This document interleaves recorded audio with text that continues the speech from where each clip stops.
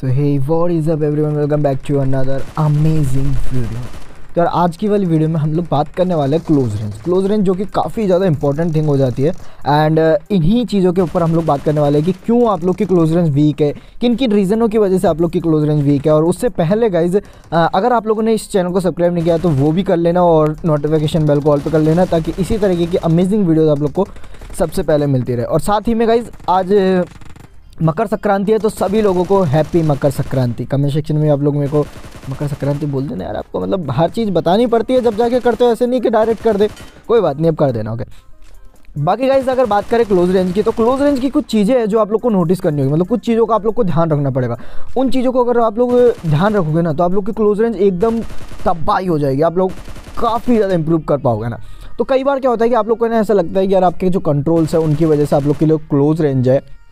वो बीक लग रही है। आप लोग गोलियाँ चलाते हो तो सामने वाले की गोलियाँ तो लगती है, लेकिन आपकी गोलियाँ नहीं लगती। तो ये कुछ रीजंस है जो आप लोग को मतलब आपके माइंड में चलते होंगे। तो उन्हीं के बारे में अपन लोग बात करेंगे कि क्या ये सच्ची में है या फिर नहीं है, या फिर कैसे आप लोग क्लोज रेंज को इम्प्रूव कर सकते हो।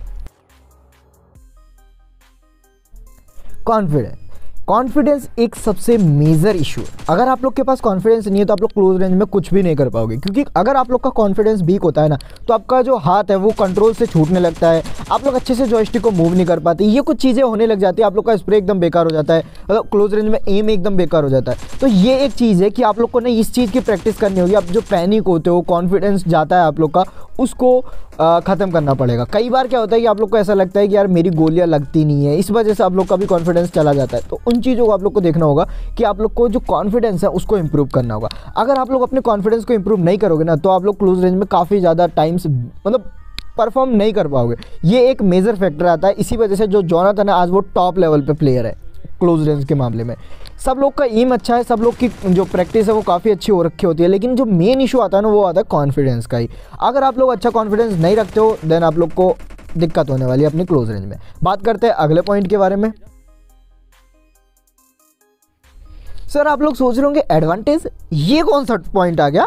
तो गाइज़ हाँ ये एक मेजर पॉइंट है आज के ज़माने में। मतलब आज एक ऐसा टाइम आ चुका है ना, जब हर प्लेयर काफ़ी अच्छा खेलने लग गया है। हर कोई प्लेयर काफ़ी अच्छे से खेल सकता है। तो इस जगह पे एडवांटेज का बेनिफिट होता है। मतलब आप लोग किस पोजीशन में हो, कहाँ पे हो, आपका एनिमी किस पोजीशन में, ये भी डिपेंड करता है अगर आप लोग क्लोज रेंज फाइट ले रहे हो। तो कई बार आप लोगों ने देखा होगा कि जोनाथन भी वन वी वन जो फाइट्स होती है, उनमें ईजी फाइट्स हार जाता है। वो क्यों होता है? क्योंकि एनिमी का जो पॉइंट ऑफ़ व्यू है एनिमी की पोजिशन है, वो काफ़ी अच्छी होती है।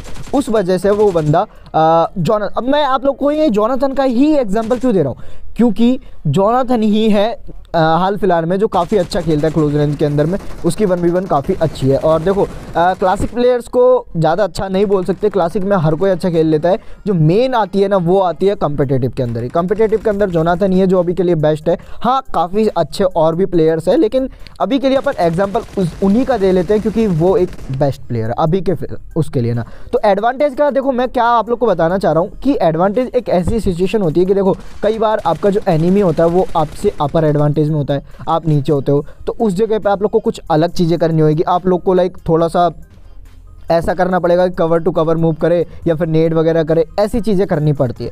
तो उस जगह पे आप लोग को एडवांटेज बनाना पड़ता है, ना कि एडवांटेज होता है। सो ये चीज़ों को आप लोग को ध्यान रखना पड़ेगा। बात करते हैं अगले पॉइंट के बारे में। हाँ अब अगला पॉइंट ऐसा ही होने वाला है। सो बेसिकली अब मैं आपको सारी डिटेल्स देने वाला हूँ क्लोज रेंज के बारे में।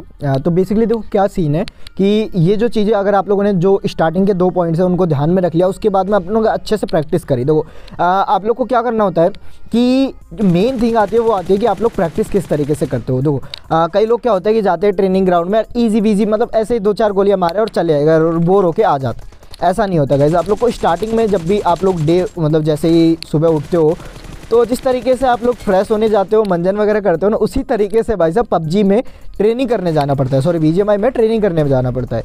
आप लोग को ये चीज़ ध्यान में रखनी पड़ेगी कि आप लोग अगर चाहते हो कि आपका दिन काफ़ी अच्छे से आप लोग खेल सको काफ़ी अच्छे तरीके से आप लोग खेलो और अच्छे अच्छे क्लचेज करो सारी चीज़ें करो ना तो उसके लिए क्या करना पड़ेगा? सबसे उठ, उठते ही आप लोग को कुछ जो ट्रेनिंग ड्रिल्स है ना, वो करनी पड़ेगी। जो ड्रिल्स कुछ नॉर्मल सी है लाइक स्प्रे वगैरह दे लो एंड कंट्रोल्स को सेट कर लो, जो उधर खंबे होते हैं ना, उनमें लेफ़्ट राइट मूव कर लो। तो ये चीज़ें आप लोग को देखनी पड़ेगी, क्योंकि अगर आप लोग इन चीज़ों को देखोगे ना तो क्या होगा कि आपका जो हाथ है ना, वो सेट हो जाएगा और जैसे वो सेट हो जाता है ना तो आप लोग ईजी फाइट्स ले सकते हो। अगर जिस जगह पर आपका हाथ सेट नहीं रहता है तो उस जगह पर फाइट लेने में आप लोग को दिक्कत आती है। हाथ सेट का मेरे कहने का मतलब ये है कि जो आपका हाथ है, आप लोग की ग्रिप है, वो अगर परफेक्ट नहीं है कंट्रोल्स पे देन आप लोग उल्टी सीधे कुछ भी चीज़ें दबाओगे और क्लोज रेंज में अगर एक छोटी सी भी मिस्टेक करते हो ना आप लोग इसका मतलब है कि आप वो फाइट हार चुके हो। तो बस इन चीज़ों का आप लोग को ध्यान रखना पड़ता है कि क्लोज रेंज में ए टू जेड इन चीज़ों का यूज़ करना पड़ता है एंड कॉन्फिडेंस uh, होना चाहिए। कंट्रोल्स पे आप लोग की पूरी पकड़ होनी चाहिए ग्रिप प्रॉपर होनी चाहिए ताकि आप लोग uh, जो मूवमेंट है प्लस एम uh, है वो भी परफेक्ट हो। अब आप लोग को लगा होगा कि मैंने क्या ही पॉइंट बताए। लेकिन गाइस रियली बता रहा हूँ, इन पॉइंट्स को अगर आप लोगों ने ध्यान से सुना होगा, इन पॉइंट्स को अगर आप लोगों ने ढंग से देखा होगा, अगर ढंग से नहीं देखा ना तो गाइस पीछे जाके एक और बार वीडियो को देख लो प्रॉपरली तो आप लोग को समझ में आ जाएगा, है ना? तो बस, आज की वीडियो यहीं तक थी। मेरा मेन जो मोटिव था ना, वो यही था कि आप लोग को मैं इन चीज़ों के बारे में बताऊँ, क्योंकि मेरी भी क्लोज रेंज कुछ दिनों पहले वीक थी। लेकिन अभी के लिए काफ़ी इंप्रूवमेंट है, क्योंकि मैंने इन चीज़ों को फॉइल मतलब सॉरी इन चीज़ों को फॉलो किया है। देखो, मैंने अपना कॉन्फिडेंस बढ़ाया है, मैंने प्रैक्टिस ज़्यादा की है, मैंने जो टी डी है उनमें फ़ाइट ली है। एम असिस्ट ऑफ़ करके मैंने ट्रे जो ट्रेनिंग करी है एम असिस्ट ऑफ़ करके मैंने टी डी एम खेला है। तो इन चीज़ों को आप लोग को खेलना पड़ता है और जब जाके आप लोग की जो क्लोज रेंज है, वो इम्प्रूव होती है।